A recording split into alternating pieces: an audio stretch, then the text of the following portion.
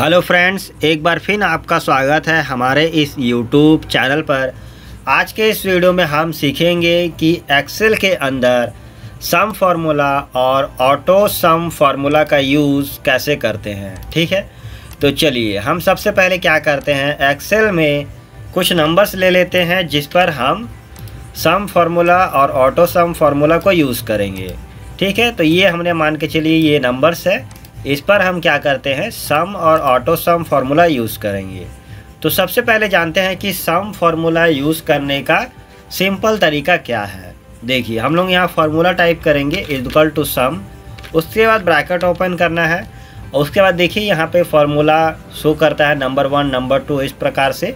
आप एक्सेल में कोई भी फार्मूला टाइप कीजिएगा तो आपको उस फार्मूला में क्या करना है, वो आपको यहाँ सामने में ही शो करा देता है। चलिए, अभी जैसा ये बोला गया है तो इसमें सभी नंबर्स पे ही काम करता है तो सिंपली क्या करेंगे? सभी नंबर्स को हम ड्रैग करके सेलेक्ट कर लेंगे। उसके बाद ब्रैकेट क्लोज करके एंटर प्रेस करते हैं तो देखिए क्या हुआ कि ये सभी नंबर्स को सम करके दिखा देता है आपको। अब चलिए जानते हैं कि ऑटो सम फार्मूला कैसे अप्लाई करते हैं। तो जैसे हमने यहाँ सम किया था, हम इसको डिलीट कर दिए।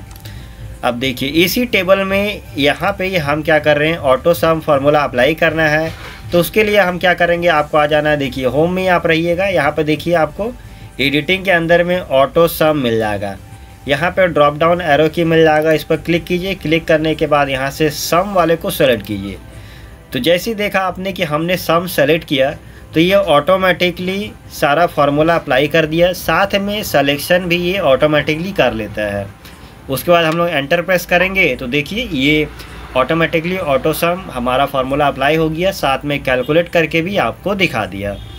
तो आज के इस वीडियो में आपने देखा कि कैसे हम लोग सम फार्मूला और ऑटो सम फार्मूला को अप्लाई करते हैं। और यही नहीं दोस्तों, आप एक्सेल में जो भी चीज़ सीखना चाहते हैं, आप हमारे चैनल पर सीख सकते हैं, और वो भी काफ़ी सिंपल तरीके में।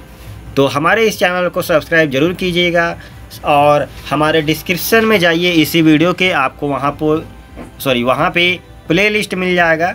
वहाँ से आप जो भी वीडियोस मैंने अभी तक बना के दिए हैं, आप उनसे देखिए, उनसे आप ज़रूर कुछ ना कुछ नया सीखेंगे।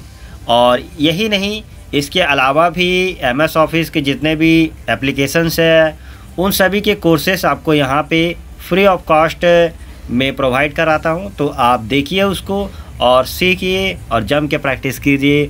चलिए आज के इस वीडियो में इतना ही। मिलते हैं अगले वीडियो में कुछ नई ट्रिक्स के साथ।